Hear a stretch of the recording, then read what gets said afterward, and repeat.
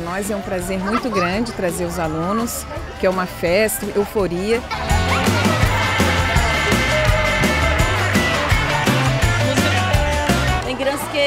Não sei se alguma vez já foi no cinema. A importância do, do cinema para as crianças é a cultura, né? Também chega na escola, a gente retorna e faz trabalhos em cima do que as crianças viram, né? Então a gente trabalha a questão da ecologia, trabalha a questão da alimentação, todos os temas que foram abordados nos filmes. E este ano foi um ano mais especial porque a turminha do Colégio Aplicação também produziu um filme em stop motion, então a gente também pôde apresentar. Foi muito rico, eu acredito, tanto em conhecimento quanto no divertimento deles.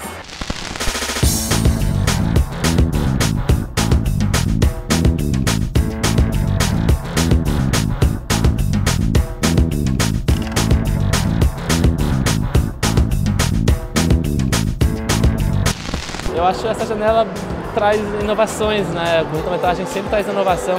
No es solo, digamos, un camino para un largo, sino es un formato especial como tal. Entonces hay que preocuparnos de darle la importancia al corto.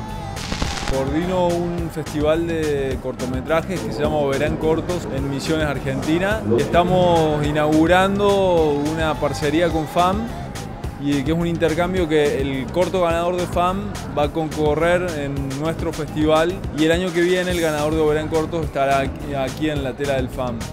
Fazer esse intercâmbio é fundamental. O FAM traz essa oportunidade de trazer essa produção para o público e até que essa, e aí você, você pode até catapultar essa produção para outros, para exibições, para outras janelas. Eu estou ansioso aí pela recepção do público. É um festival muito traz muito calor do público. O público é muito fervoroso, participa mesmo. Uma estrutura bem, bem legal, bem aconchegante. Acho que isso é muito bom para as pessoas poderem trocar mais ideias, trocar informações. Muy feliz, muy feliz de estar acá. Es mi primera vez y de verdad espero venir muy seguido. Não tinha na uma, eu consegui O título da conferência é arte de coproduzir no Mercosul. E eu rebatizei de a arte manha de coproduzir no Mercosul, que na real é um processo complicado, a gente tem diferentes legislações, diferentes leituras sobre o mundo. Abrir o mercado, como abrir o mercado, como os filmes brasileiros circulem pelo mundo, como angariar mais recursos. Fiz um filme chamado Romance Policial, é uma coprodução com o Chile.